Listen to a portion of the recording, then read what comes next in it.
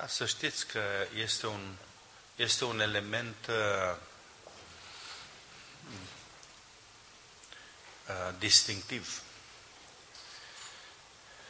Am fost întrebat deseori de ce pentecostale sunt mai mulți ca baptiștii sau creștini pe Evanghelie. Fiind profesor la Institutul Pentecostal 11 ani, predic foarte des în bisericile pentecostale, am mulți prieteni, colegi. Mi-am făcut o imagine, nu? Atâția ani. Și sunt câteva lucruri care uh, ar fi bine să învețe și frații baptiști, frații creștini după Evanghelie. Primul lucru, um, frații pentecostal se roagă mai mult. Se roagă mai mult.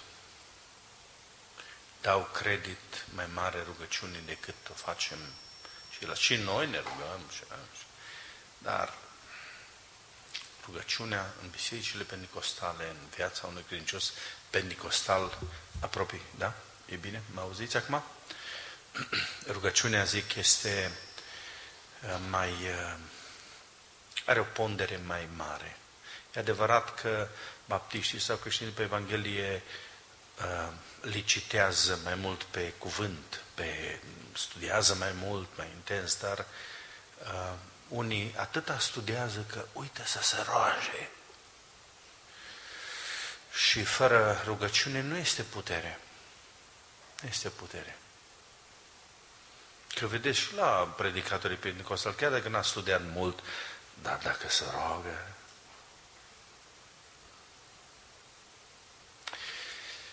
al doilea lucru, în bisericile pentecostale se cântă mai uh, uh, pentru inimă. Se cântă mai afectuos, mai, uh, zic, atinge inima mai mult. Și creștinii după Evanghelie baptiștii cântă. Dar um, modul în care combin rugăciunea și cântarea, iarăși, este important. Um, al treilea lucru, am observat că în credincioșii pentecostali sunt mai uniți în special pentru lucrări duhovnicești. Uh, chiar și lucrările practice. Mobilizarea este mai bună la frații pentecostali. E un secret, undeva trebuie găsit. Dacă baptiștii vor să facă o lucrare, da, apoi analizează, o întorc, votează, frați Pentecostal, fraților, e de făcut aia. Nu, hai toți. Eu am asistat la următorul lucru, concret, în Bihor, într-o localitate. Baptiștii au început să construiască o biserică, 15 ani au durat să o termine. Pentecostalii au început să construiască o biserică în 3 luni, au terminat. Nu, nu, nu. A fost doar cu forțe locale, rețineți. Forțe locale. În acea localitate nu erau pentecostali până acum 10 ani. În sfârșit. Și construcție frumoasă, mare, două, 300 de locuri cel puțin. Asta este încă un element, mobilizarea pentru lucrare e mai, parcă e mai bună la, în bisericile pentecostale. Al patrulea lucru, bisericile pentecostale și credincioșii pentecostali sunt mai persuasivi în evangelizare. Sunt mai stăruitori, asta înseamnă persuasiv, stăruitori în evangelizare și misiune. Ehm, când e vorba de a chema pe cineva, când e vorba de a se investi, iarăși ehm, Pe unii deranjează stăruința aceasta, insistența. Dar se pare că rezultatele sunt mai bune dacă stăruiești decât dacă cedezi. Nu? Dacă se organizează o evangelizare la baptiști și păstorul cere ca fraților să chemați pe românii de aici, ce face el? Dă telefonul. Auzi vecine, deci la doi pași de el, auzi vecine, te-am sunat, nu ai vrea să vii la o evangelizare. Bă, sunt ocupat, nu, poate altă dată. Dacă îl întreabă păstorul, zice, am chemat frate. Se face o evangelizare la Biserica Pentecostală. Fraților, să nu veniți fără careva. Atunci ce înțeles credincios pentecostal? Merge la ușă la vecin. Bage la el și zice, vecine, acu te îmbraci. Eu te duc, eu te aduc la evangelizare, da? Da, te aștept. Aici stau. Ați, bine, mi-am imaginat, nu chiar așa, dar ați înțeles ideea. Asta e persoasiunea, asta este că îți pasă, trebuie să arăți celuilalt că îți pasă de el, de sufletul lui. Asta cam lipsește acum. A fost cândva, eu știu, și credincioși baptiști erau mai persuasivi. Ceva s-a întâmplat. Și mai am încă ceva. Acum mă iertați că sunt pe puncte. Știu că la mulți vă place. Dar... Uh, al cincilea, da? Uh, manifestarea darurilor duhovnicești. Spațiul de manifestare a darurilor în bisericile pentecostale e mult mai generos decât la baptiști. Poate că la baptiști este o reținere mai degrabă. Și acolo, sigur, se manifestă darurile. Dar e o reținere pe când aici e mai mare libertate, mai multe, mai multe spații de lucrare, încă se încurajează foarte mult. Și asta este. E o dinamică. Toate acestea, să știți, formează dinamica unei biserici. Cântarea, rugăciunea, stăruința, perseverența, uh, unitatea, mobilizarea și manifestarea darurilor. Astea sunt observațiile mele de-a lungul anilor Așa. Acum am o listă mai lungă pentru frații baptiști, că sunt mai și creștini pe Evanghelie. Da. Acum numai ăsta le spunem. Da. Nu știu de unde am pornit, dar am pornit de undeva. Ehm, poate e bine să învățăm toți. Toți. Eu sper ca voi, credincioși și pentecostali, care sunteți mai mulți, să nu vă pierdeți aceste caracteristici în diaspora. Să nu le pierdeți. Și ceilalți să învețe. Învețe. Credincioșii pentecostali au, au luat mult de la credincioșii baptiști, că am fost înainte accent pe educație, de exemplu. Educația teologică și nu numai. Educația muzicală. Da, a venit încoace seriozitatea cercetării Cuvântului Dumnezeu. Iarăși vine pe linia aceasta. Um, poate organizarea, organizarea bisericii. Ei, baptiștii sunt renumiți pentru aceste lucruri care se așează, se pun la loc bine și toți învățăm unii de la alții. Ăsta nu e sincretism. Nu? Asta e, ne, asta e completitudine. Ne completăm unii pe alții. Uh, bine, ne întoarcem la subiectul nostru. Uh, soluții. Ce soluții avem pentru cele patru probleme? Încerc la fiecare problemă să dau un răspuns. Prima a fost uh, problema identității. Um, ce soluții avem? Um,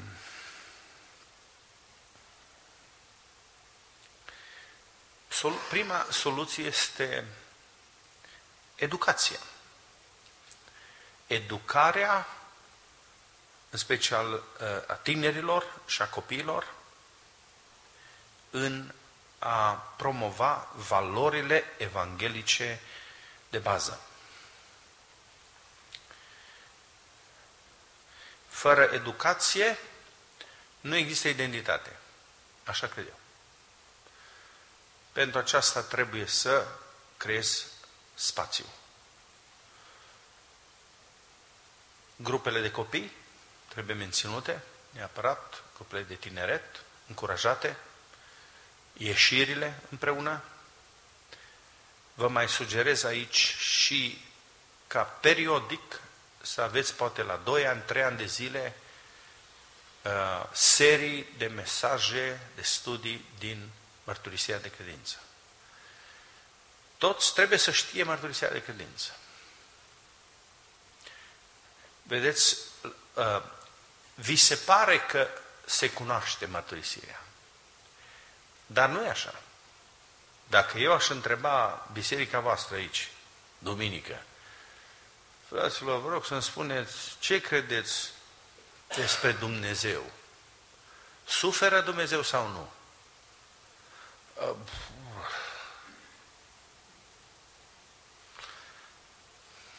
Ce răspuns dai? Te întreabă un copil. Este Dumnezeu tot prezent. E în toate lucrurile, peste toate lucrurile. Cum e Dumnezeu tot prezent? Ah. Vi se pare că se știe. Ia întrebați ce cred copiii despre Dumnezeu. Copiii noștri, tinerii noștri. Ce cred despre Dumnezeu? Și veți fi foarte dezamăgiți. Vi se pare că ei știu. De aceea trebuie să faceți aceste uh, studii concentrate de weekenduri. Luați două, trei weekenduri, vine sâmbătă, duminică sau sâmbătă și duminică, pe mărturisirea de credință. La câțiva ani merită, merge. Educația, la asta mă refer. Um, încă un lucru care cred că e foarte important aici este uh, ucenicia.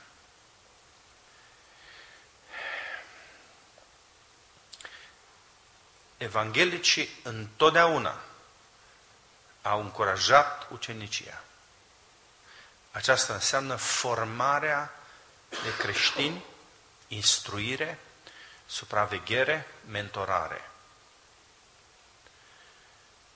Noi am încurajat ucenicia. Nu doar vine în biserică. Vai, mulțumim că, vai, cât s-au adăugat. Nu. Bisericile evanghelice, voi va trebui să vă schimbați dacă n-ați făcut-o. Vă ocupați de ei. Special ucenicie. In, in, uh, um, grupe, vă formați niște învățători buni, care să-i preia pe aceștia. Și nu numai, și pe alții. Deci ucenicia. Chiar grupele de părtășie și grupele de case pot intra în zona aceasta sub umbrela uceniciei. Um,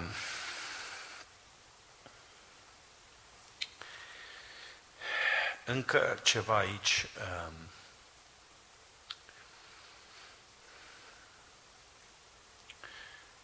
e legat de mărturie. Cum să faci ca un tânăr evanghelic care a crescut în Spania să își deschidă gura, să mărturisească pe Hristos celorlalți, colegilor. Iarăși, vi se pare că ei știu, dar nu știu. De aceea, poate că ar trebui făcut din nou așa un, o mică școală, o școală de evangelizare, de mărturie, în care să învățați lucruri foarte practice. Uh, de exemplu, printre cursurile pe care le predau eu este teologie comparată. Compar ce cred catolicii, ortodoxii și protestanții. În România domină ortodoxi. Aici domină catolici, evident. Dar aveți și niște ortodoxi români. Ai un evanghelic, un tânăr. Cum prezintă el Evanghelia în mediul catolic? Păi dacă nu știe ce sunt catolici, cum gândesc, ce... N-are cum. Ehm, de aceea o sugestie este să aveți niște cursuri speciale de teologie comparată, de a învăța. Chiar acum am fost rugat uh, unde mă duc, uh, undeva în, în țară, am fost rugat să prezint trei seri de principii de evangelizare în mediul ortodox. Cum? Nu teorie multe, că așa, teologia e grea asta de comparație. Dar practica, adică ce faci, ce spui și ce nu spui unui ortodox când te întâlnești cu el, când vorbești cu el. Iar vi se pare că voi știți. Nu știți. Eu am auzit predicatori de la Amvon, la Amvoanele noastre, care biciuiau ortodox și dă eu în ei, dă eu pe sfinți, dă eu pe... Dar nici nu știau despre ce vorbesc. Iertați-mă. La asta m-am specializat. Și când îi aud, chiar unii predicatori numiți pe internet, um, nu știu ce vorbesc. Mai mult jignesc că e ușor să jignești, dar să te apropii, nu? să creezi puntea aceea de legătură între tine și el, să-i dai cuvântul adevărului, e, asta nu e ușor. Pavel la Atena, nu? Nu i-a jignit? Mă, dar cine vă crede? Ce a zis? Vă laud, zice, că sunteți religioși. Vă închinați unui Dumnezeu necunoscut. Despre asta vreau să vorbesc eu. Metoda. Aveți nevoie de metodologie. Să învățați și voi. Uite, sunteți aici mulți din biserica asta, lucrători. Sper că nu aspirați toți la Amvon. Câmpul mare nu e Amvonul. Uite, aici Asta trebuie să învățați. Cum să mergeți să le vorbiți la ortodoxi și la catolici. E? Pentru asta trebuie un pic de școală. Um, legat de al doilea, a doua problemă, a doua problemă noastră a fost competiția, consumismul, materialismul. Aici sugerez uh, reordonarea priorităților în viață. Regândirea priorităților.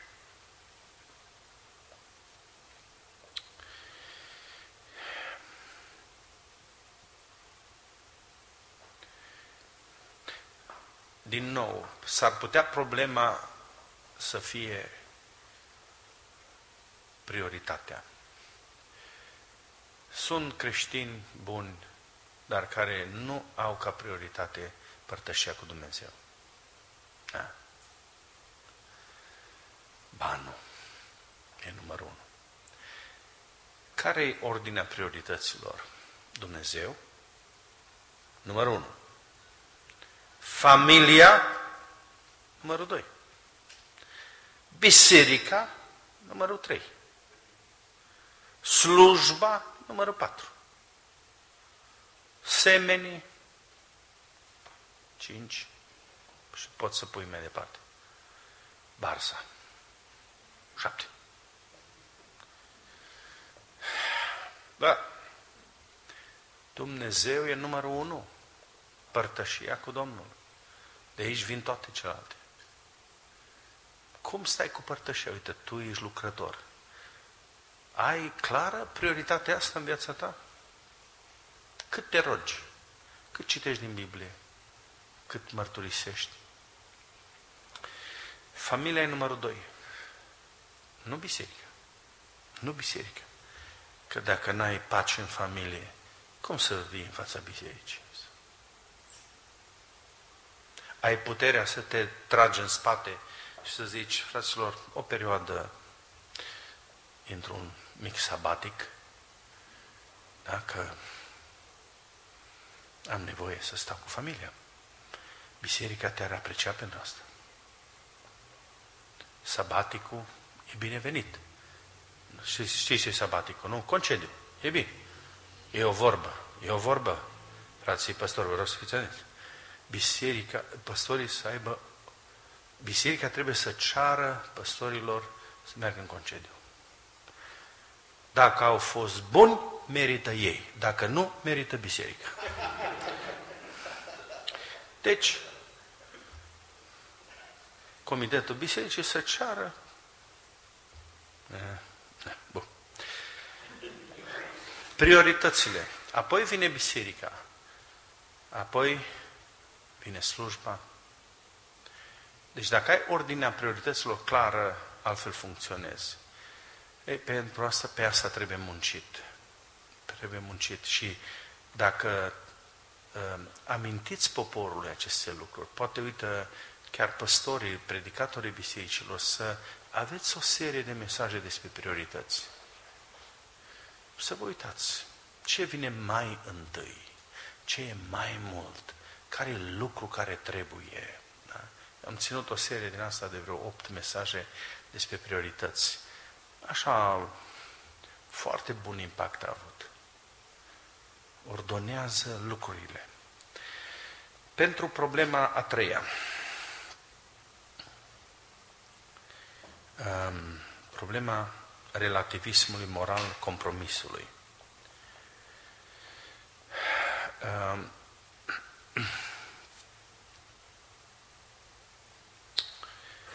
aici, hmm, cuvântul cheie e integritatea, integritatea morală.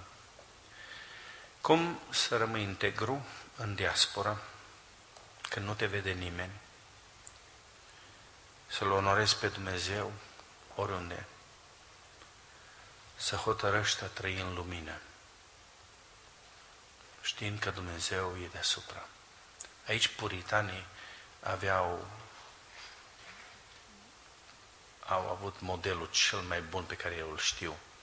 Puritanii, care era o mișcare de înnoire, chemare la puritate în Biserica Anglicană, sfârșitul secolului XVI, începutul secolului XVII, de fapt tot secolul XVII și XVIII, puritanii aceștia au dezvoltat mai multe idei, prin care, de exemplu, mortificarea.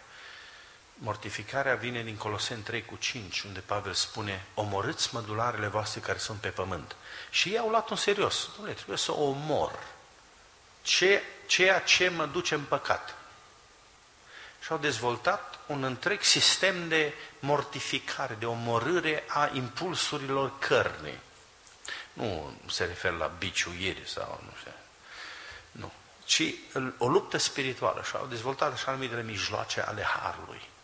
Metode puse la îndemână de Dumnezeu prin care să lupți spiritual. Foarte frumos. Erau specialiști în lupta spirituală. Merită să citiți pe puritani.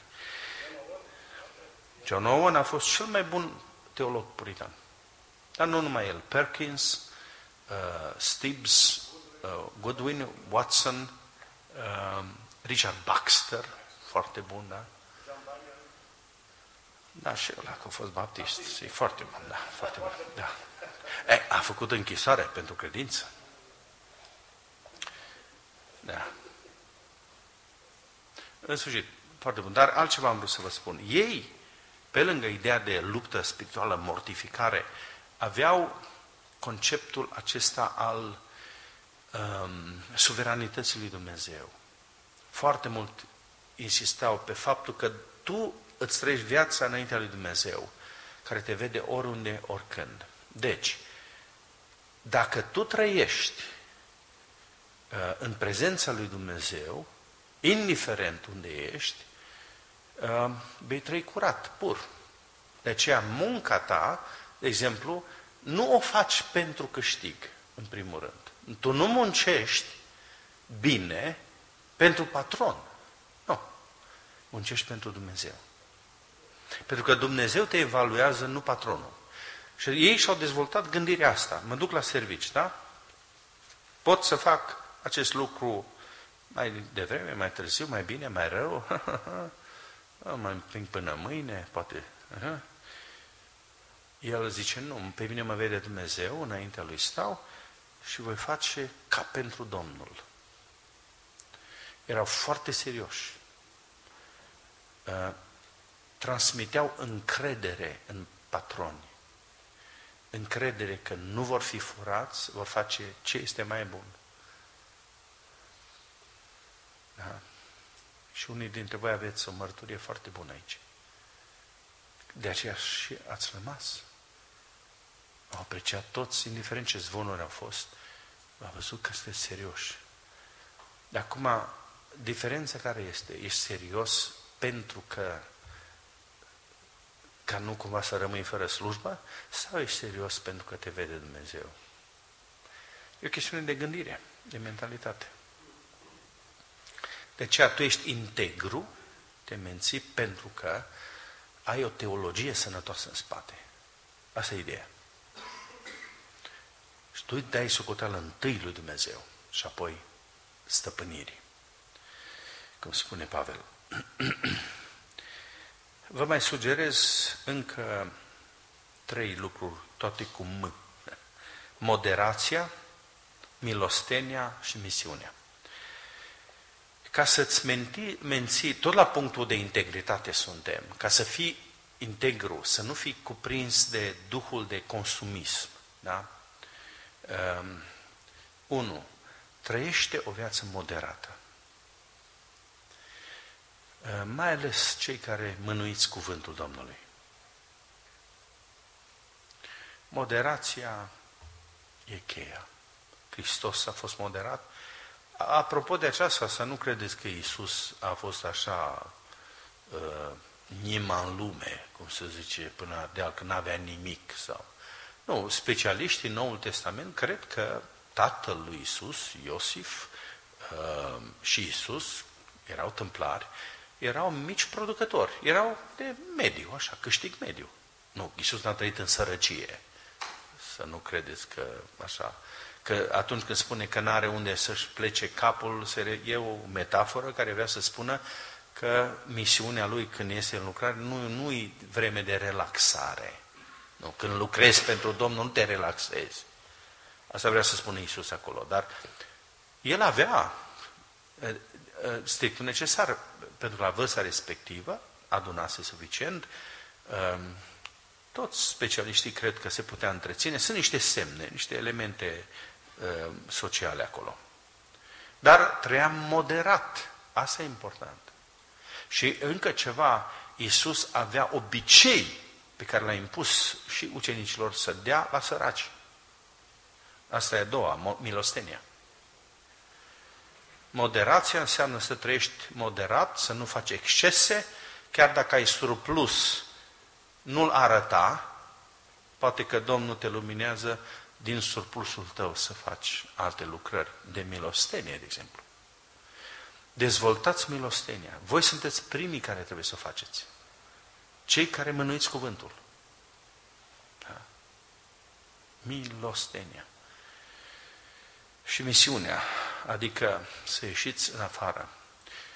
Um, aici punctez din nou un lucru care l-am observat în toată diaspora.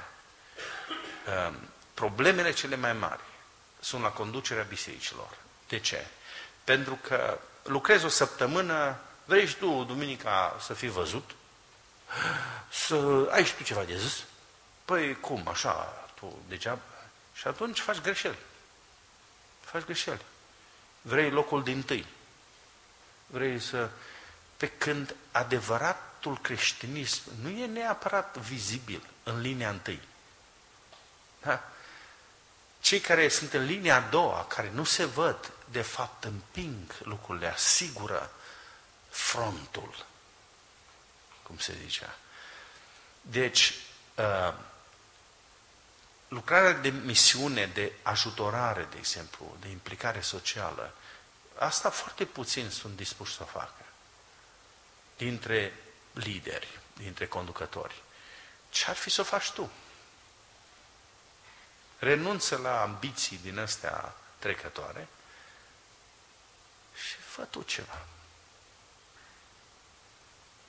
Yeah. În Vechiul Testament erau patru categorii de oameni pe care Dumnezeu a cerut poporul Israel să fie ajutați.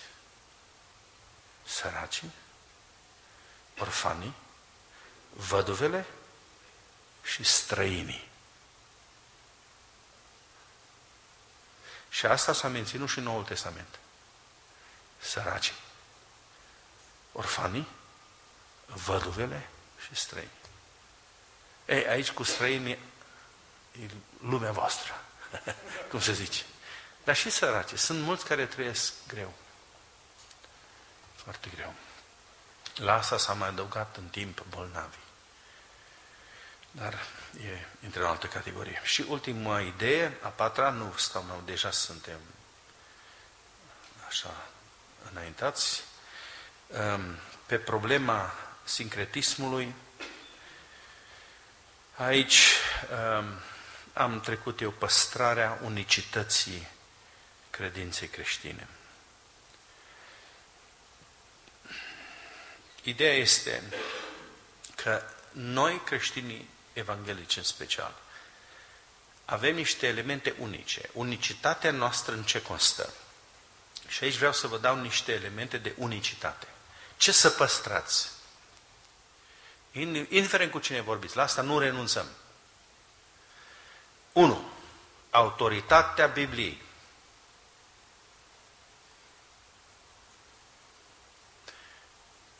Nu a tras Sfinte Tradiții.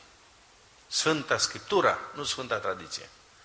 Respectăm tradiția altora, nu o disprețuim, putem învăța și noi de ea, dar nimic nu se compară cu autoritatea Bibliei. 2. Necesitatea nașterii din nou. Noi credem că un om are nevoie de naștere din nou, de regenerare. Nu negociem. Nu credem că m-am născut ortodox și nu, te-ai născut în păcat și trebuie să fii mântuit, născut din nou. Ăsta e specificul nostru. 3. Preoția tuturor credincioșilor. Noi nu avem clase preoțești. Mi-ar plăcea. Ar fi fain, așa, nu? Frate Nicu, frate... Mare, așa, să... Mai o... Să rămână părinte, mai... Să rămână... Să rămână dreaptă. Nu? Ceva, o... Nu? Dar... Nu. Nu. Nu merge. Autoritatea noastră derivă din altceva. Noi credem în preoția tuturor, adică noi nu avem clasă preoțească și nu avem mijlocire prin sfinți. Asta înseamnă. Mijlocirea noastră este făcută de Isus Hristos, nu de sfinți. Și toți, absolut toți credincioșii, pot să mijlocească înainte de Dumnezeu, să fie preoți, adică făcători de poduri. Să ne rugăm pentru alții, nu preoții dețin harul, harul lui Dumnezeu este dat tuturor celor care cred. Asta e credința asta. La asta nu renunțăm. Următoarea patru. No, aici lupta va fi grea. Separarea bisericii de stat. Nu toți evanghelicii sunt fericiți cu această exprimare. Unii dintre protestanți evanghelici au mers pe varianta unei combinații, sinfonii, cum o mai numesc unii. Adică biserica și statul să coexiste. Și în Germania, luteranii, de exemplu, așa funcționează. În Olanda, reformația așa funcționează. Credincioșii evanghelici, începând cu anabaptiștii, continuând apoi cu baptiștii, cu metodiștii, cu uh, pentecostalii, creștinii după Evanghelie sau frații, nu acceptă această combinație, mixajul acesta. Noi afirmăm separarea bisericii de stat. Biserica este independentă și autonomă. Biserica locală se organizează singură. Ă, separarea bisericii de stat nu înseamnă să nu-ți plătești taxele, să respecti autoritatea, dar în problemele care privesc viața internă, organizare, administrare, conducere, ă, slujire, închinare, nu are ce căuta statul. În momentul în care statul cere bisericii să facă anumite lucruri contrare principiilor bisericii, ieșim. Riscăm. Și încă un element specific este spiritul misionar și evanghelistic.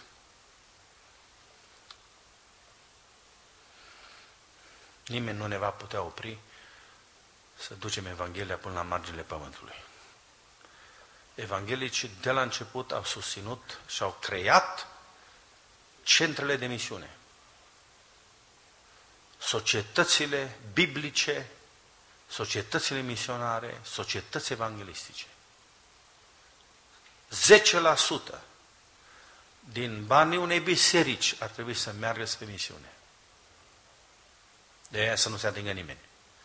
Misiune, evangelizare, implicare socială, ce trebuie. Asta ar trebui o hotărâre la fiecare biserică locală. Dar nimeni nu impune lucrul acesta. Poate să fie și 15%. Da. Dacă nu dai, nu primești. Ei, am văzut asta la americani, am apreciat foarte mult asta. Când ne-am dus uh, pentru un proiect în România, o biserică mare, nu știu, 3000. Pastorul mi-a, mi prezentat un alt pastor cu misiunea, care avea un comitet misionar, m-am întâlnit cu el, nu cu pastorul principal, cu comitetul de misiune.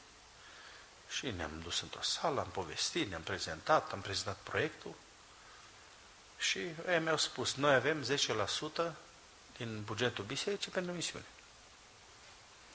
Am dat atât acolo, așa, am explicat și ne-a mai rămas atât. Pe voi vă putem ajuta cu atât. Banii aia nu se duc în altă parte. Aia este misiune. Nimeni nu se atinge de ei. Mi-a plăcut asta. Și trebuie învățat. Dar cam acestea ar fi niște lucruri la care nu putem renunța ă, ca și specific al nostru, rețineți. Pe lângă aceasta sunt elemente teologice. Nu vom renunța niciodată la divinitatea lui Isus Hristos. Nu vom renunța niciodată. Puteți nota niște elemente de doctrină, dacă vreți, unicitatea doctrinei, credinței creștine, care sunt următoarele. 1. Dumnezeu este creatorul și răscumpărătorul. 2. Credem în Sfânta Treime. Tatăl, Fiul, Duhul Sfânt. 3. Credem în divinitatea lui Isus Hristos.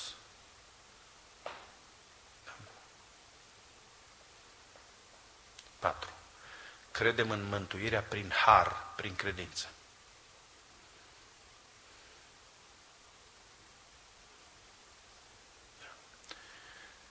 5. Credem în jertfa ispășitoare a lui Isus Hristos. Jertfa ispășitoare, în ispășire. Următorul punct. Credem în nașterea din nou prin Duhul Sfânt.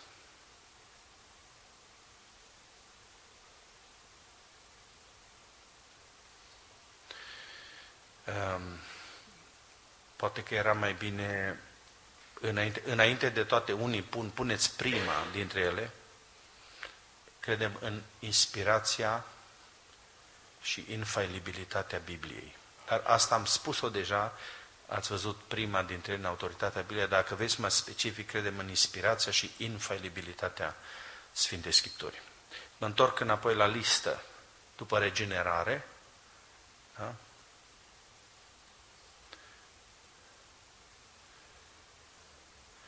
Credem în biserică și în misiunea ei.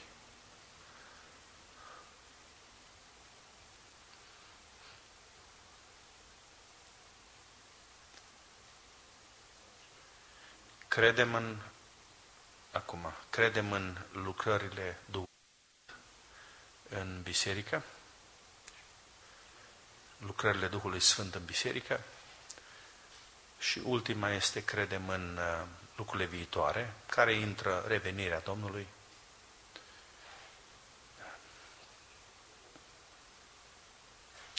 Deci asta e structura. Fără asta nu, nu discutăm, dar sunt niște lucruri foarte importante acolo. Uh, de exemplu, uh, mântuirea prin har, prin credință. Nu, divinitatea lui Isus. Nu împărțim. Pentru că asta vor sincretiști, rețineți. Ei vor, de exemplu, să spună că și ei cred în Isus. Să nu vă păcălească asta. Pentru că ei cred, de exemplu, musulmanii. Știți că și ei cred în Isus? Dar ca și ce? Atât. Proroc. Unu, e cu Avram, cu Moise, cu Mohamed. Nu, nu spun că nu Isus nu este, nu a fost bun, nu?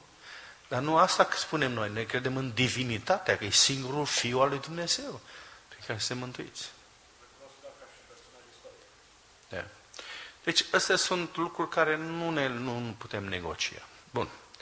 Asta a fost prezentarea mea, fraților. Acum întrebări. Dacă aveți legate de tema noastră, problemele din diasporă, încet, încet. Um, tu ești Iosif, fiul, da, cu ești tu? Da. Iosif mi-a pus o întrebare. A cui? Lui Dan? E Iosif Dan, da. O întrebare are Iosif. Sincretismul, da.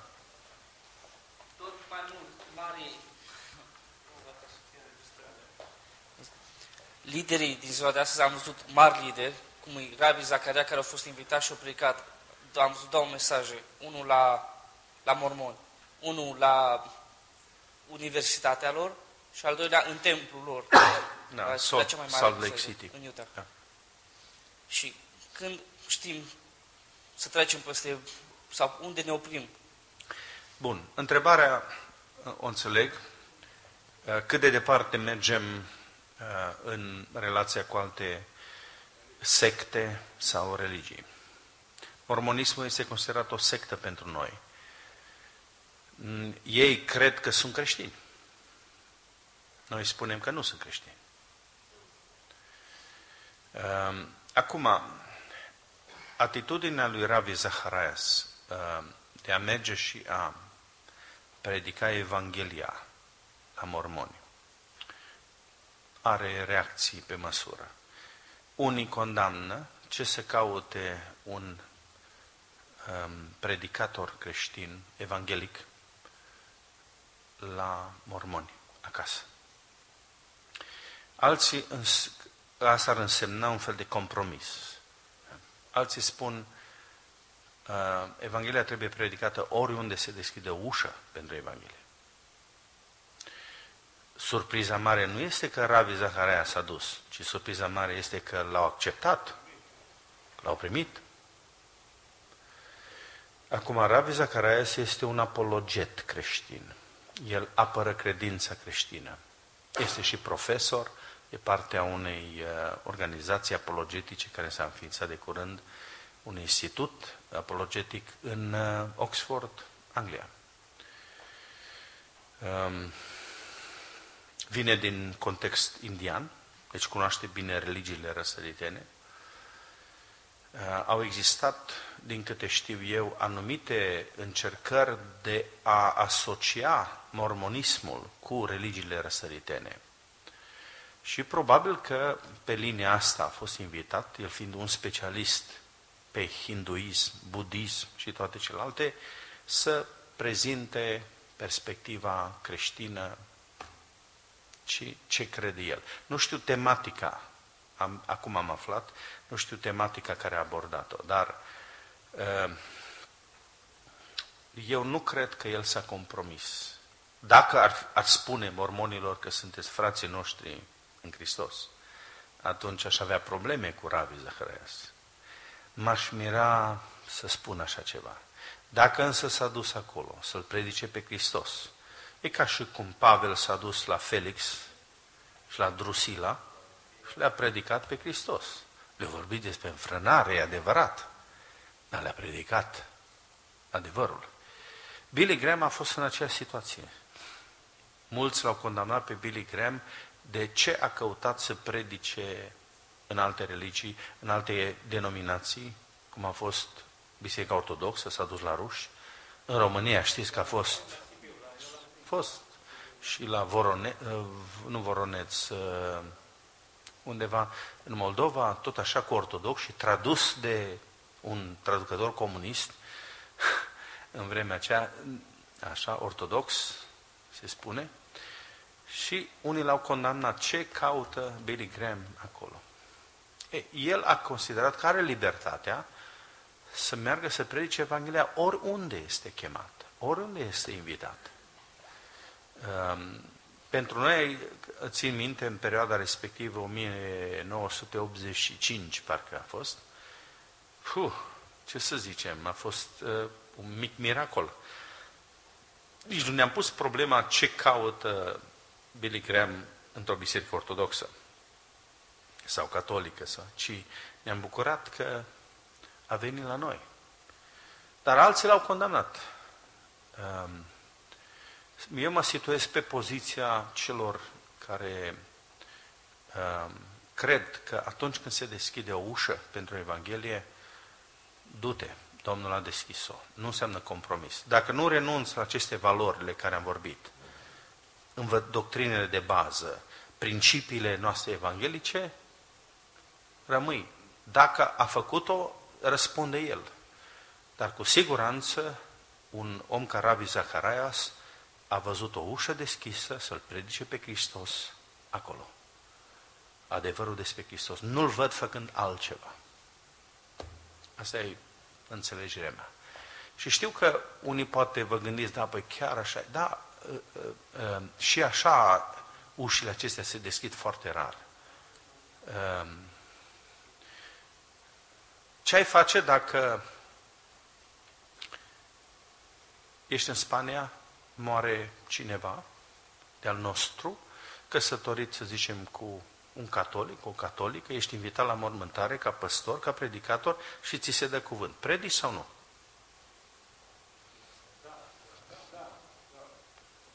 De ce să nu predici pe Hristos? Nu trebuie să-ți faci cruce ca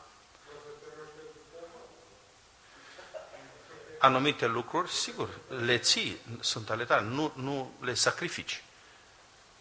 Dar dacă ți se oferă ocazie să predici pe Hristos, da, și Pavel a făcut uh, nu compromisuri când s-a tuns, când s-a dus uh, la sinagogă, ce se caută el neapărat acolo, dar o oportunitate. Nu, nu, aici suntem, suntem în aceeași alianță, frate. Suntem sub alianța evanghelică. Ehm, deci mai degrabă așa aș lua. A fost o decizie personală lui. Sunt sigur că s-a consultat și cu alții, Rabi Zacharaia, și au decis că e o bună ocazie să-L predice pe Hristos. Cam așa văd eu. Da. Fratele Ștefan.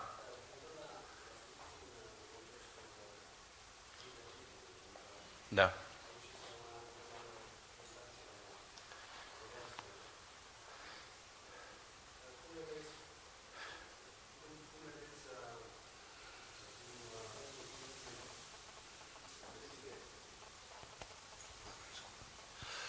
Deci cum vedeți pentru românii din diaspora și mai ales în Spania, pentru că asta e contextul nostru, o încurajare în a, în a ne apropia mai mult de bisericile locale spaniole, uh, știind totuși faptul că a existat o anumită rezistență, o anumită, să zic așa, o anumită inadaptabilitate din partea noastră și a lor, cum o vedeți ca pentru viitor, mai ales că tinerii, așa cum spuneați, tinerii se vor pregăti tot mai mult să se identifice cu cultura și cu, uh, cu limbajul spaniol. E vorba de bisericile Române. evanghelice din uh, Spania Din- sau cele din- catolice? Nu, nu, nu, de bisericile noastre. Cum vedeți o apropiere de bisericile locale, uh, evanghelice, evident.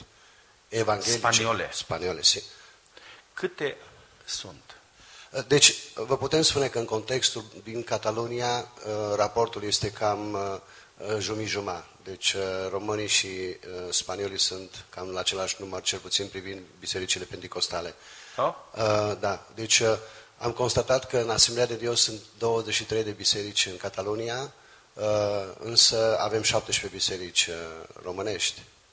Și uh, evident nu suntem uh, tot la fel în fiecare sector sau în fiecare oraș, suntem diferiți.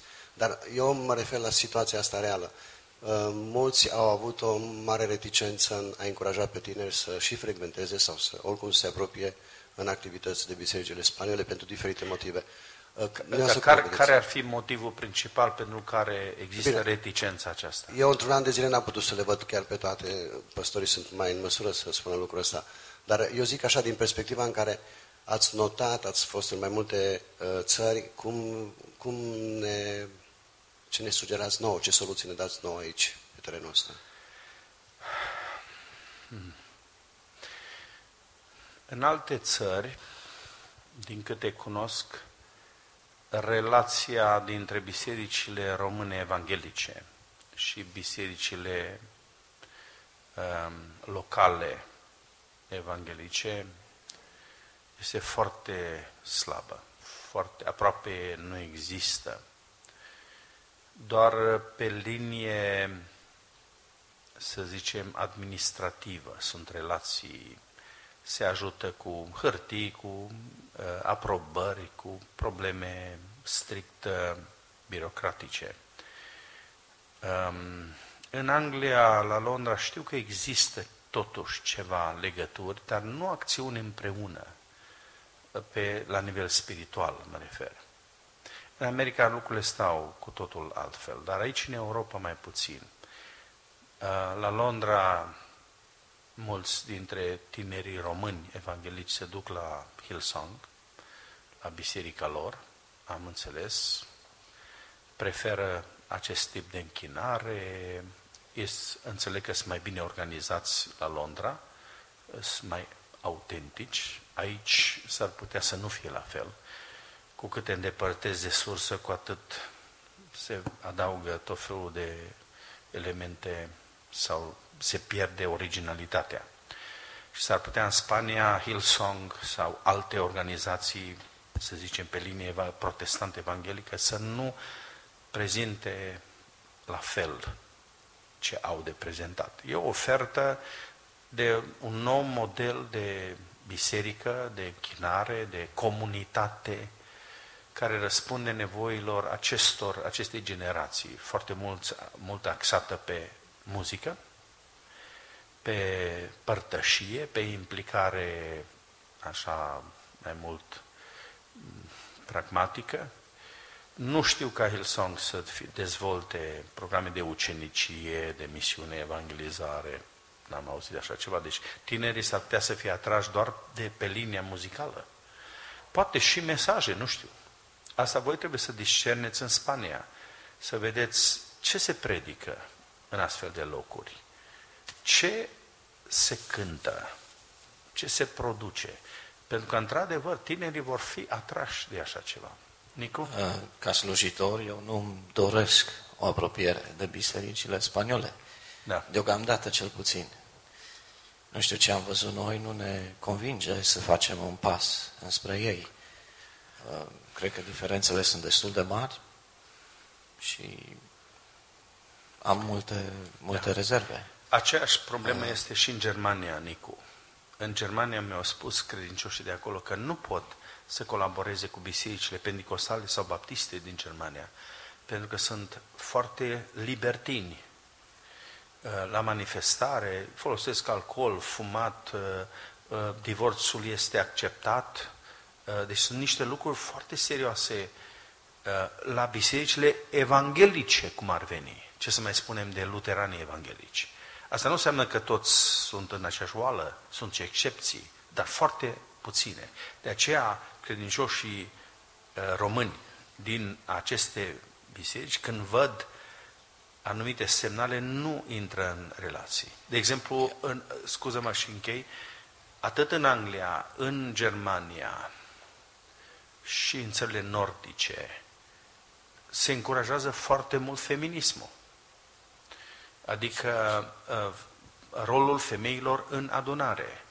Sunt deja ordinate uh, surori, nu? baptiste, pentecostale, reformate, ca și păstori, preotese, episcop chiar. E, când românii nu au această uh, înclinație, să zicem, sau libertate de a accepta ordinarea femeilor. Când te duci într-o colaborare, trebuie să te informezi, nu? Cine sunt, ce cred. Și asta îi face pe mulți de noștri să nu intre în uh, legături, să nu aibă acțiuni, poate acțiuni sociale, poate acțiuni sociale, dar nu acțiuni spirituale, să zicem, evangelizări împreună, campanii din acestea, poate chiar școală împreună. Scuză-mă, Nicu, te-am întrerupt. Doar că lucrurile sunt foarte delicate și cum, cel puțin din perspectiva unui slujitor, cel puțin noi suntem preocupați, eu sunt preocupat de, de o apropiere, de o încuscrire. Este o biserică, este cineva din Pareți? Ehm, este o biserică din Pareți, cei din Pareți, noi suntem prieteni foarte buni, slujim mult acolo. Biserica de dimineață sunt spanioli, după masa sunt ei, dar um, sunt foarte amestecați, au început să se încuscrească cel puțin eu am o curiozitate în ani să vedem ce se întâmplă, cum cresc, cum se formează, pentru că sunt tineri, au început să se căsătorească cu spaniol. Uh-huh. E un lucru interesant pentru mine să văd ce se întâmplă și cum o să meargă lucrurile. E, am fost într-o biserică, înainte, să, chiar când am venit aici, eram pe ultimul rând, împreună cu un prieten, cu Radu, predica cineva, era o femeie. Și vine, vine un tip așa mare, spune, zice, îți place cum predică? Zice, lui Radu îl cunoștea. Zice, da, da. Zice, hai la o bere. Noi am fost șocați. Ă, bătea unul la tobe, în timp ce am bătut, i-a sărit pachetul de țigări din buzunar. Ă, sunt lucruri care pentru noi au fost, sau sunt șocante. Și avem multe rezerve în a ne apropia și a ne da. și a dezvolta, știu, relații. În plus, ce am observat, spre exemplu, penticostalii, Uh, din Spania se aseamănă mai mult cu carismaticii din România, în manifestare și în... în da. Uh, da, sunt foarte diferiți. Da, două, două lucruri va trebui totdeauna să verificați. Unu, doctrina. Doi, etica. Dacă la astea două probleme, dacă la astea două uh, zone sunt probleme, n-ai cum să ai, să dezvolți relații. Pentru că dacă au o doctrină uh, greșită sau care nu se potrivește cu a voastră, mai devreme sau mai târziu lucrurile ies la suprafață. Dar problema etică e cea mai serioasă pentru că dacă etica acestora, comportamentul lor este foarte libertin, uh, nu, nu avem cum să... Aici n-ai cum să împaci lucrurile să le cer lor niște schimbări ca să putem merge împreună. Nu se va putea. Și uh, veți vedea, cea mai mare problemă, cea mai mare problemă în zona aceasta va fi familia. Modul în care se gândește familia. Și aici verificați orice relație pentru viitor. Cum gândesc familia? Au libertate pentru concubinaj? de probă? Sunt. Cum văd problema relațiilor sexuale între tineri înainte de căsătorie? Asta e a doua chestie. Trei. Cum văd divorțul? Patru. Cum văd homosexualitatea? Vedeți ce serioase probleme sunt? Toate sunt în jurul familiei. A? Nici nu discutăm probleme bioetice. Astea cu nu? eutanasierea, avortul, nu? fertilizarea in vitro și celelalte. Nici nu, nici nu intrăm în zona aia. E suficient numai în zona eticii familiei. Și să cam dai seama, pot sau nu merge, să me, pot sau nu poți merge cu ei la oaltă. Da.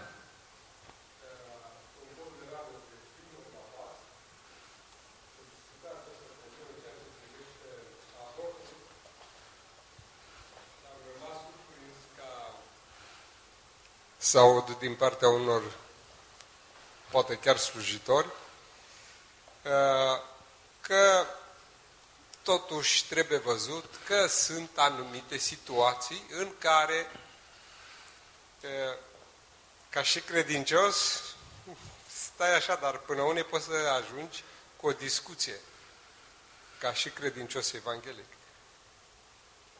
Și din câți erau în uh, discuție, din ceea ce am auzit, erau cumva cam împărțiți, jumătate între ei. Uh-huh. În ceea ce privea lucrurile astea. Și asta deja... Uh, în ce privea avortul. Da, în ce privea avortul. Am rămas foarte surprins, șocat, adică, măi, zic, cum e posibil ca un credincios să poată concepe uh, avortul? Da. Uh, asta este, în... asta este gândirea relativistă. Acum o vedeți în acțiune. Da, pe la punctul 3. Uh, și încă o dată vă spun ce mă, cum să spun, mă întărâtă. Obiectivul numărul 1 al acestui, acestui idol al relativismului este familia. Asta e atacul numărul 1. Aici veți avea cele mai mari probleme aici în Spania. Nu atât tu, viața ta personală, studiile tale, biserica, nu aici vor fi problemele. În familie. Când vă cresc copiii cu gândirea asta. Ei aud că se poate și altfel. Și tu nu mai ai putere să schimbi. Tu nu ești informat ca părinte. Mâine dimineață vom vorbi despre, un pic despre că sunt familiști, nu? mâine și vreau să discutăm problema acestui relativism în familie. Deci asta este răspunsul, frate Ștefan, vedeți, pe linia asta merge. În două domenii nu putem, aici ne verificăm. La celelalte s-ar putea să...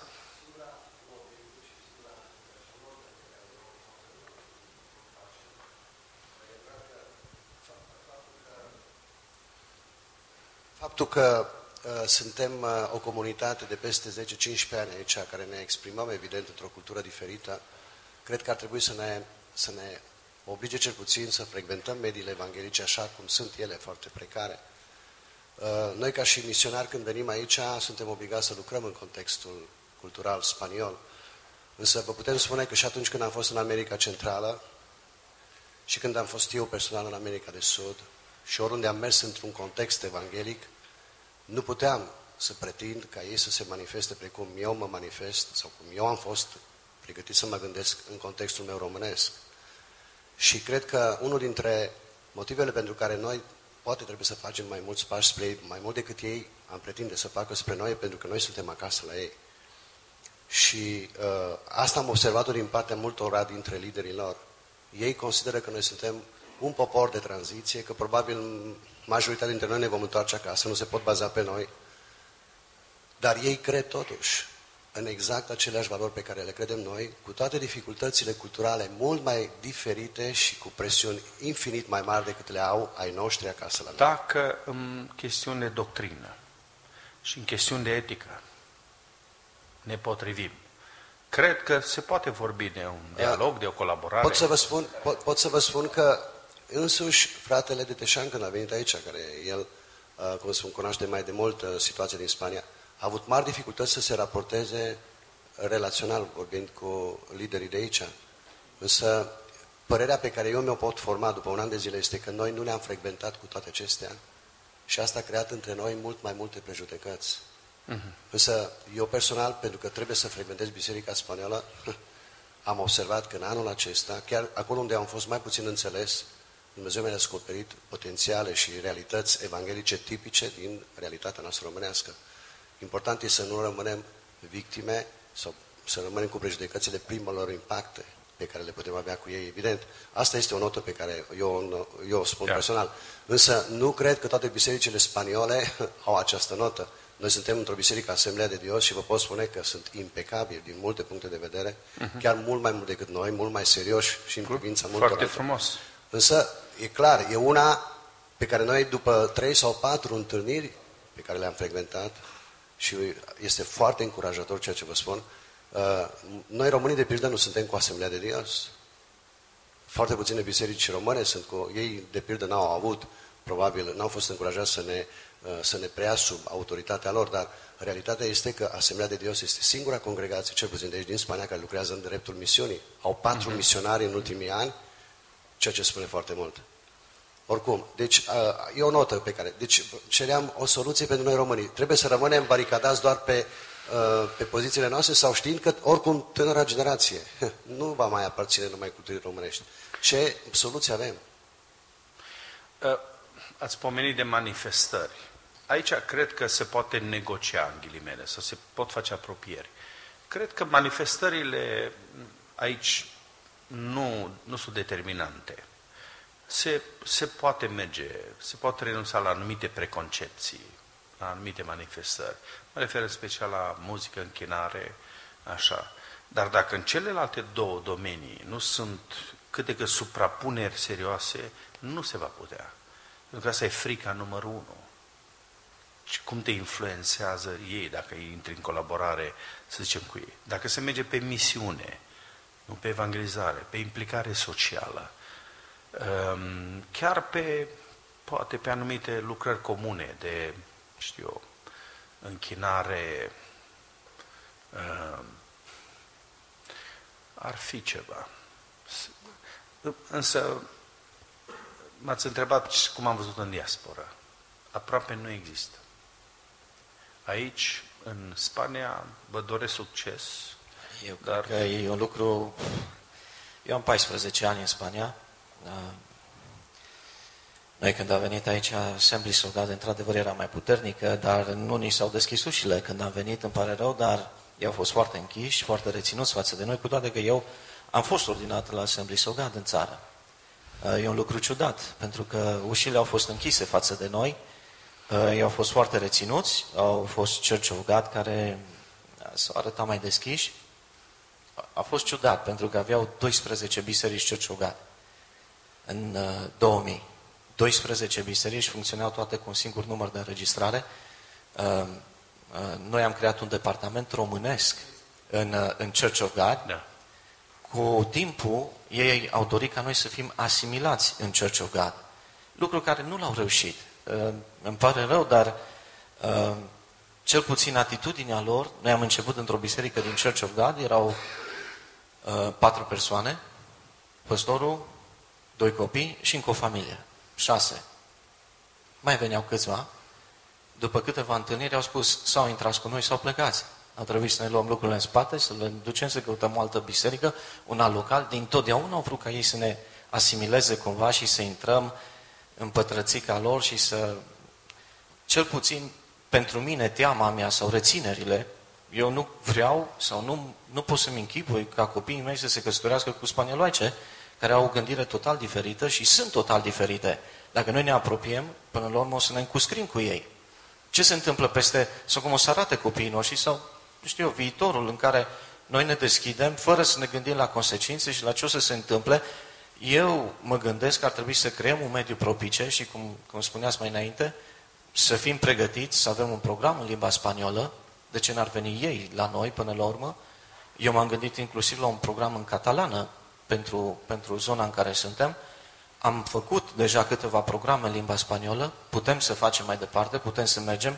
Copiii noștri foarte bine, eu cred că pot să crească pe lângă noi. Sunt 150 de copii, spaniolii nu prea au atâția, ehm, dar mi-e teamă de ce o să se întâmple în momentul în care noi ne apropiem de ei, gândindu-ne la consecințele, la la încuscrirea asta, pentru că asta o să se întâmple. Copiii noștri o să fie cu ai lor, principiile o să o să se întindă, devin mai flexibile Sau Toat- vor da. cădea.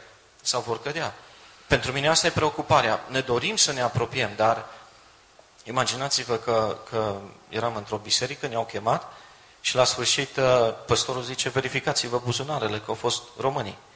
Uh, s- Încă multe concepții greșite și multe lucruri care pentru noi, uh, bine, vrem să fim, vrem așa, egalitate, dar nu între căței.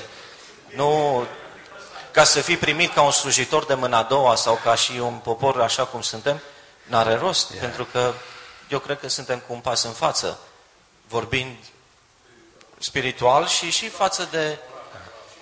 Da, acum Știu. pentru standardele Ia. românești. Spaniolii n-ar zice așa. Pentru standardele lor ne pot vedea înapoiați. Noi am ne fost pot la un vedea- congres uh, național, păi dacă noi veneam, noi ca biserică eram mai mulți decât au fost ei toți. Congresul lor național pe Spania, în care au venit și femeile care erau ordinate. Sunt puțini, sunt, uh, sunt cum sunt și Asta este. Dane, ai vrut să spui ceva? Îi dați microfonul, vă rog. La început, când uh, bisericile baptiste românești au căutat să se organizeze, uh, s-a evit situația asta, ce facem? Uh, ne facem membri în UEBE, care e Uniunea Bisericilor Baptiste Spaniole, sau nu? Și erau frați care erau foarte pentru. Și eu am înțeles, pentru că în zona lor există niște biserici sănătoase doctrinar, chiar dacă sunt parte în UEBE. Eu eram foarte împotrivă, pentru că în Catalunia baptiștii sunt destul de liberali în teologia lor. Într-un de a noastră am mers la, am mers la studiu biblic la Biserica Spaniolă, care se întâlnește dimineața în localul ăla și a fost surprins să, să audă că Geneza e o alegorie. Că lucrurile astea nu s-au întâmplat de fapt, că noi e un personaj așa, cum e făt frumos și, și el a avut așa uh, inspirație să întrebe și cartea Iona e tot o alegorie. Și pastorul a zis, bineînțeles, uh, că e o alegorie. Și el a zis atunci, moartea Domnului Isus Hristos a fost alegorică sau a fost reală? Că Domnul Isus a zis, așa cum Iona a stat în pântecele chipului și Fiul omului o să stea în pământ. Și pastorul a zis, tema noastră e Genesa astăzi. Pe lângă derapajele astea doctrinare, care sunt evidente în sânul bisericilor baptiste de aici, o parte din biserici, între ei există o diviziune, uh, frații baptiști care sunt pe valorile noastre, nu s-au înscris în Uniunea Bisericilor Baptiste Spaniole și au format o altă federație separată, FIEIRE uh-huh. se numește. Cu bisericile din FIEIRE, biserica noastră menține legături.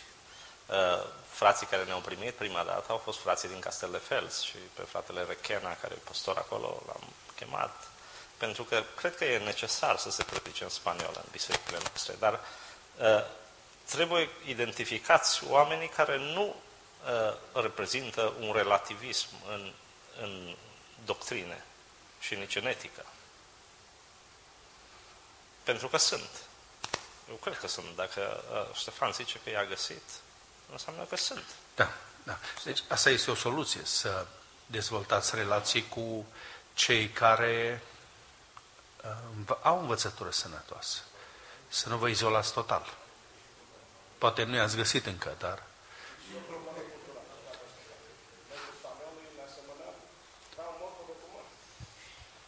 nu seamănă deloc cu ei.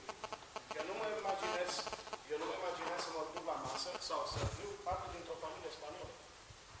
Uh, Eu nu mă imaginez să, mă, să am uh, un cumnat, să am o cumnată spaniolă. Aici spaniolii sunt foarte cu familia lor. Dacă un spaniol se pocăiește, ce facem cu el? Pentru că la nu se rupe din familia lui. Ar trebui, va fi un contrast foarte mare între cei familia lui și cei biserica. O să fie un, un, o să fie o, o, un impact frontal între familia lui și biserica lui. Ce face omul ăla? Unde se duce? Pentru că nu o să poată să fie nici cu biserica și nu o să fie, o să fie un prozelit între ei. Eu cred că nici asta nu se ia în considerare. Dar, dar, Adi, părerea mea că e inevitabil. Voi trebuie să fiți conștienți că uh, într-o zi unii din copiii voștri se vor căsători cu spanioli. Nu, nu, nu, nu drag, măi, drag, dragostea e mai tare ca moartea. Așa spune Scriptura. Nu? Sau... Deci, ce cu spaniolii? E nimic. Eu nu Da, dar tu nu poți, tu nu poți controla dragostea copilului tău. Bine, ți-ai spus punctul de vedere, îți dorim succes, dar avem, avem, scuz, da? Uh, da. Cristi? Deci, uh, în experiența pe care o avem noi ca și biserică, noi avem în, în biserica noastră, stabilit anual, o dată la două luni, program în spaniolă, în care uh-huh. invităm păstori spanioli, dar noi conducem programul spaniolă, copiii spun poezii în spaniolă, în catalană, cântă cântările în catalană, în spaniolă, invităm prietenii noștri uh, spanioli în cadrul bisericii noastre, asta se întâmplă de șase ori pe an, într-un mod intenționat și se, se termină cu pica-pica. Uh, în Elvendrele avem două biserici apostolice, n-am putut să legăm, legăm uh, relații cu ei deloc și nu, vom, nu, vom, nu, nu cred că vom ajunge, așa cum spunea și fratele Nicu, să legăm, pentru că pentru ei tot ce înseamnă însăși păstorul, când ia chitara începe să sară, să alerge prin biserică cu chitara, să transpire și după aia să spună 5 minute din Biblie, dar nu are nicio treabă cu Biblia. Pentru noi a fost așa un pic uh, șocant, să zic, um, pentru că prioritățile sau hrana spirituală nu este la înălțime sau măcar yeah. doctrina nu are bază. Și am observat că ca și biserică, ei au vrut să ne asimileze și noi întotdeauna am căutat să, să, să ne păstrăm identitatea. Eu spuneam fraților, fraților, dacă noi rămânem aici, hai, ok, noi poate avem maturitate spirituală, dar cei care vor veni după noi, adolescenții care vor veni din România aici, ce vor căuta, ce vor găsi? Uh-huh. Și atunci, dacă noi nu păstrăm linia și nu căutăm să arătăm pe Hristos ca Domn și Mântuitor, se pierde ei, dar ne pierdem și noi identitatea. Și atunci am căutat să tragem o linie dreaptă. După 10 ani, ei ne bat la ușă și spuneau, avem nevoie de voi. Dar dacă noi ne lipeam de ei, eram toți pierduți. Și atunci facem programul spaniol pentru prietenii noștri, dar în mod special pentru copiii noștri. Ne rugăm ca ei să fie lumini la școală, dar nu le dăm posibilitatea ca ei să spună ceva în limba care o învață. Și atunci, da, într-un mod da. intenționat, le dăm posibilitatea să spună, să invite colegi de da. școală, da. să facă... E de urmărit. Uitați-vă, deci există un model Vedeți cum funcționează? Încercați-o și voi. Avem un băiat care simpatizează cu Hilson. Hai să-l vedem. Nu vreau să comentez asta, chestia asta, dar chestia e că trebuie să ne uităm că de ce noi suntem în Spania. Pentru ce am venit aici? Este oare o întâmplare sau Dumnezeu a îngăduit asta? Și eu cred că Dumnezeu a îngăduit asta ca să, printr-un fel, ca să ne atingem de ei și ca să facem să ajungă adevăratul Dumnezeu la ei. Și dacă da. noi ne închidem, ne retragem, cum facem aceasta? Dacă noi vedem cultura noastră, deci nu numai noi suntem bine, ei fac total rău, cum ajungem la ei? Deci ei, ei vor vedea că noi ne-am închis și atunci trebuie să ne, cumva nu, adică să ne... Ad...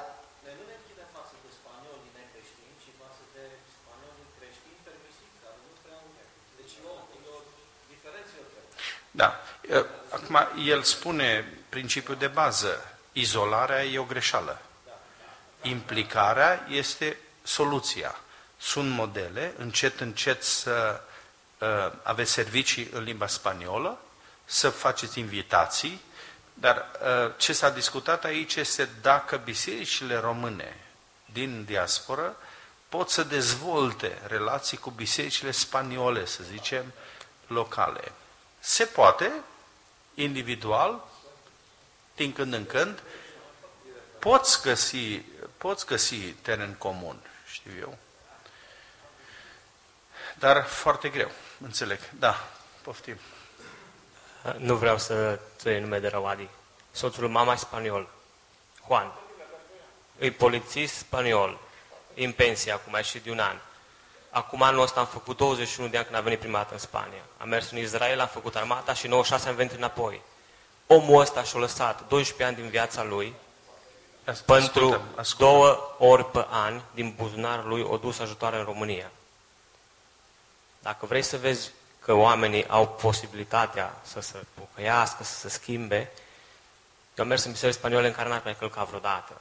Dar spun un lucru, bisericile spaniole, cel puțin la grupul din care merge Juan, s-au tras spre menoniți, în așa fel încât au ajuns să-și facă haine, ca să nu memble la modă cu ceea ce se vinde pe piață. Își fac mâncare ei între ei și ca să nu mai cumpere ce se vinde pe piață pentru că au ajuns biserica din uh, uh, San Sebastian de los Reyes, biserica menonită. Da. Au relații cu biserica Elim din Arganda, biserica lui fratele păstor, uh, uh, nu, uh, celălalt, Zăgrea. Juan, el îi secretarul unei asociații de politici creștini mm. care nu l-au în România făcut bine. Pe mulți scos din noroiul cel mai de jos. Pentru că nu toți spaniolii sunt la fel. Eu în Juan, de 20 de ani de când îl cunosc, am văzut o schimbare extraordinară. Din omul care venea de la lucru, își punea arma pe masă și nimeni nu cânta în fața lui. Dar spun, și așa cum a fost el, el ne-a tratat pe noi, nefiind copiii lui, mai bine când ne-a tratat tatăl nostru. E injust să punem etichete pe toți spaniolii la fel. Corect, corect. Omul ăsta s-a ruinat, practic, ducând ajutoare în România. O s-a ruinat. O ajuns în punctul în care eu, frate meu și sora meu, trebuie să le plătim câteva luni la rând cheltuielile la apartament ca să nu le iei banca. Pe vremurile când mergeau lucrurile și putea să o permiți. Să nu ne vedem cu un spaniol. Nu știu. Uh, eu m-am căsătorit cu Ioana pentru că am găsit-o pe Ioana. Am avut o prietenă spaniolă. Ideea a fost că fata asta, din, din decizia lui Dumnezeu, a murit. Nu, nu, nu decidem noi lucrurile astea. Posibilitatea de a, ca noi să putem să ne relaționăm cu ei, ca să mergem spre un adevărat sens biblic al cuvântului, să știi că se face cu spaniolii unul câte unul. Corect. Corect. E, e, e foarte bun, bine punctat. S-ar putea ca în faza aceasta să nu aveți soluții la nivel macro, ci doar la nivel micro. De la persoană la persoană, invitați. Știți, apropo, știți spaniol care s-au convertit în bisericile române? Aici la voi, da? Și au rămas în biserică? Au plecat în altă parte, dar avem rezultate. Deci, da, nu suntem închiși total față de lucrurile astea, din potrivă. Eu cred că e o confuzie. În, eu cred că Dumnezeu ne-a chemat aici ca să ne întoarcem și ascultăm, să, ne, ascultăm. să mergem spre spaniol și cred că nu sunt la întâmplare, tu aveai dreptate și îmi doresc lucrul acesta. Dar, în ce mă privește ca slujitor, eu am rezerve în, în relațiile cu celelalte biserici. Poate că Dumnezeu să-mi schimbe inima, nu ne că sunt persoane bune sau oameni buni sau oameni, uh, uh, știu eu, uh, într-adevăr moral, cum spui acolo, dar față de, de anumite biserici am rețineri. Acum, nu știu cum o să fie, ce o să fie. Oricum, din seara asta dar, ai întredeschis da. ușa. Oarecum. E un lucru bun. Oarecum. Da. Sunt dovezi că în alte părți se poate. Da, sigur. Bine, nu putem analiza cum toate, da? Ehm, dacă mai este o altă întrebare legată de expunerea de astăzi, dacă nu? Nicu, ai aveai tu o întrebare? Poate că altă dată, dar ehm, era ceva practic despre uh, modul în care ar trebui ca copiii noștri să-L mărturisească pe Hristos. Da. Poate altă dată ceva mai practic, da. mai... Da. Mi-aș și dori da, câteva lucruri. Educație, educație în evangelizare. Trebuie neapărat să faceți ceva. Poate găsim tema pentru data viitoare.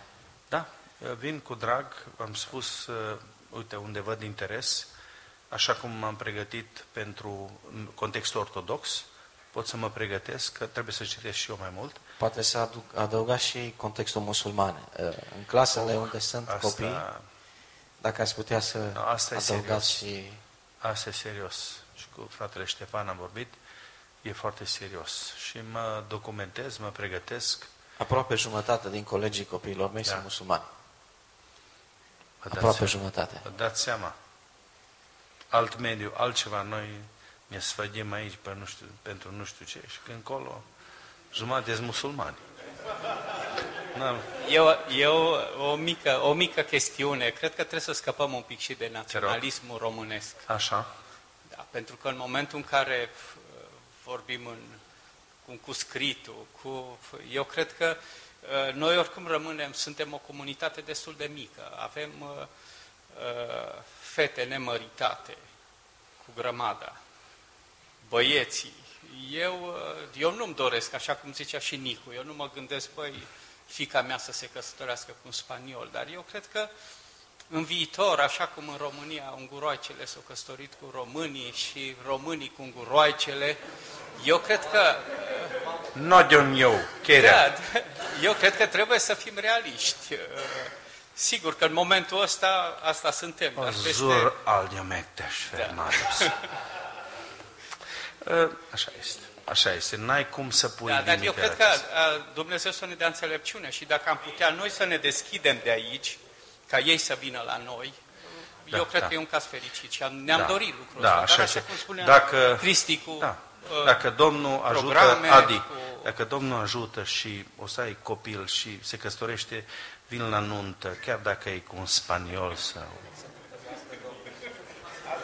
Da, nu, nu, nu.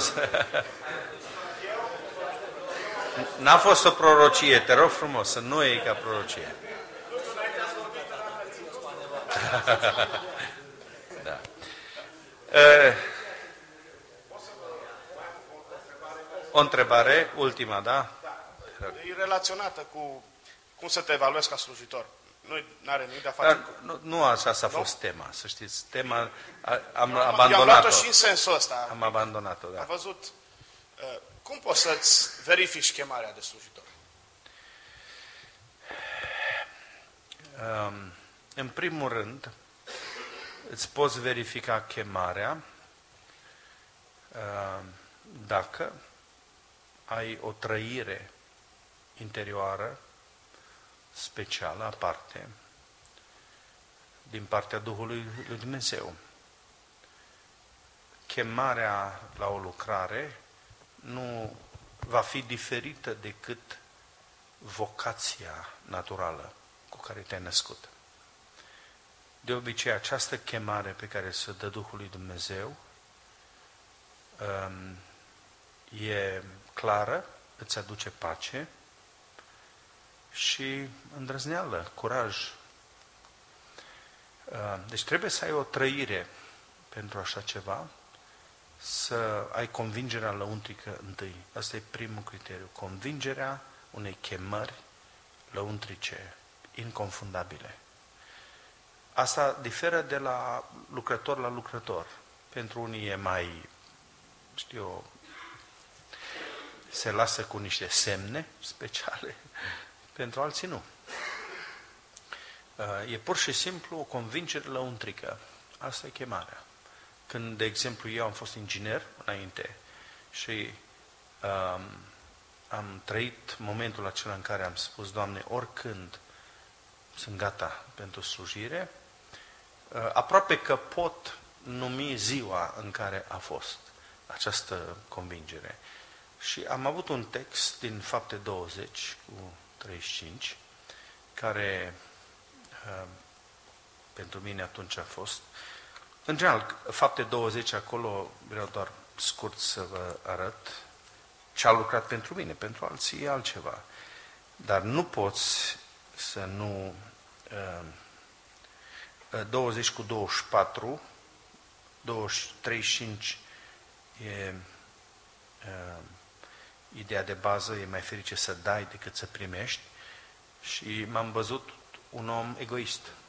Egoismul de a sudea pentru mine, de a uh, eu crește eu, când colo Dumnezeu mi-a spus e mai ferice să dai, e vremea să dai, nu doar să primești. Dar 24, 20 cu 24, spune Pavel, eu nu țin numai decât la viața mea ca și cum mi-ar fi scumpă, ci vreau să numai să-mi sfârșesc cu bucurie calea și slujba pe care am primit-o de la Domnul Isus ca să vestesc Evanghelia Harului Dumnezeu. Asta a fost versetul care în- m-a determinat să intru în lucrare. A doua, al doilea element trebuie să fie confirmarea bisericii. Deși poți să ai o trăire, cineva trebuie să o confirme. Uneori confirmarea vine de la o ceată a prezbiterilor, a lucrătorilor. Da. Ehm, dar chiar a mentorului tău. Deci, un mentor poate să-ți confirme, trebuie să te verifici. Dar, în general, biserica e cea care confirmă. Biserica te pune deoparte. Nu? Biserica îți dă de lucru. Așa. Ehm, apoi mai este un criteriu legat de dar. Ehm, ca să intri într-o slujire, nu poți fără daruri. Ehm, unii ar vrea să fie slujitori, dar n-au darul lui. Sau vor să fie într-o slujire oarecare, însă darul lui e pentru o altă slujire. Da? Și eu cred că darul acesta poate fi luat, poate Dumnezeu să-ți dea un altul. Am întâlnit, vă pot da și nume concrete de lucrători care au crezut că au darul de învățător. Și dă cu darul de învățător până într-o zi. Când Dumnezeu l-a folosit la o evangelizare, că s-au întors 20 din, la o singură predică. Și el, el a fost șocat. A, a fost o predică, a, a făcut o chemare că făceau și alții și din ziua aia a înțeles că darul lui este de evanghelist.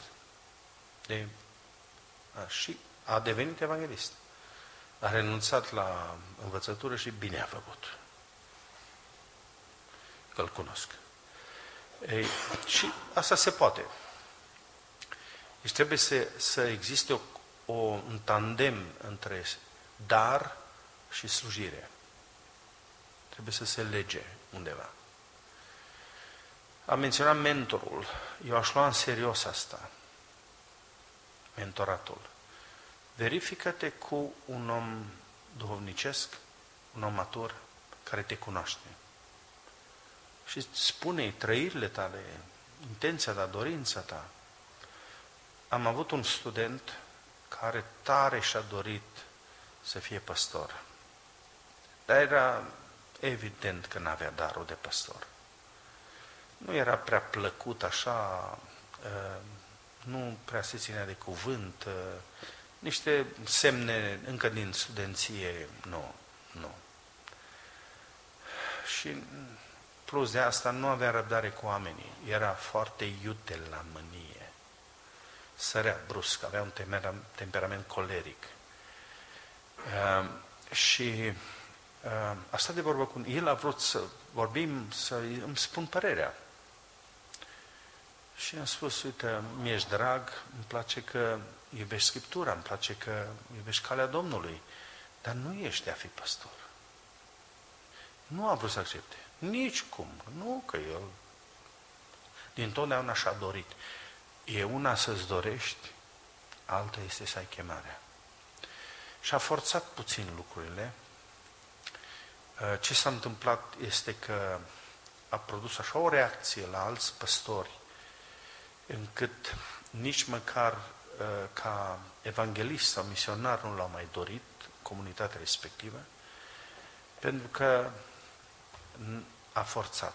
S-a văzut clar că își dorește firesc lucrul respectiv.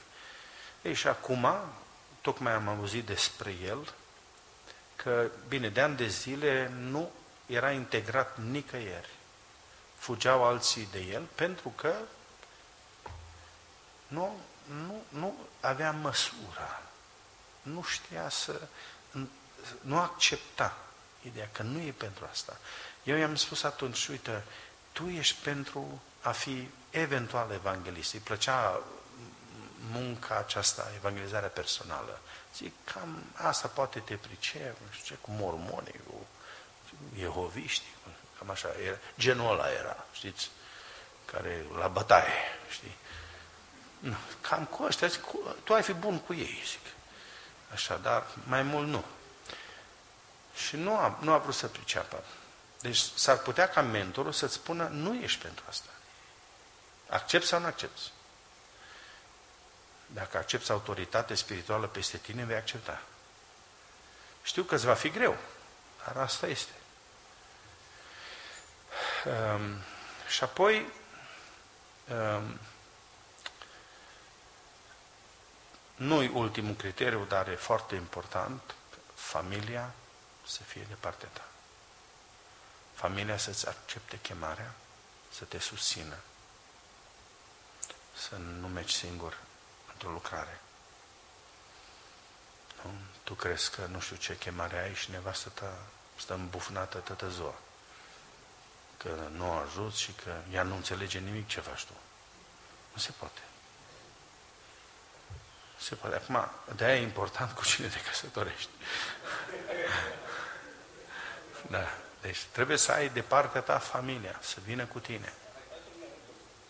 Nu, nu, el a pus o întrebare principială, așa. Da, am înțeles. Da. Deci asta ar fi convingere lăuntrică, darul, uh, confirmarea bisericii, confirmarea mentorului și familia. Cel puțin filtrele astea le-aș spune. Păi sunt altele mai finuțe, filtre mai fine, dar au de-a face mai mult cu starea ta lăuntrică. Nu ai voie să accepti să intri într-o lucrare dacă ai o patimă. Nu. nu. Uh, intrarea în lucrare nu, nu, nu garantează că vei scăpa de patimă. Că așa avem eșecuri, unul după altul, că nu au putut scăpa de patimă, ori sex, ori bani.